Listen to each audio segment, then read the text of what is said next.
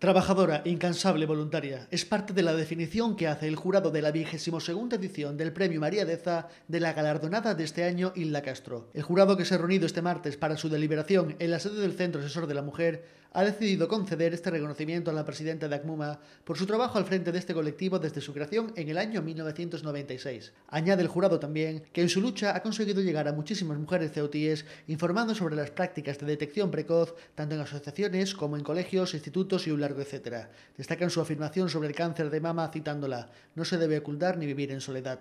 El premio María Deza a la mujer ceutí del año consiste en una escultura de Elena Laverón y un diploma acreditativo con expresa mención de los méritos que lo motivan. Se creó con el propósito de distinguir, reforzar e incentivar la labor desarrollada por las mujeres ceutíes en cualquier ámbito y se eligió el nombre de María Deza por ser esta la primera gobernadora de la plaza de Ceuta entre 1548 y 1549.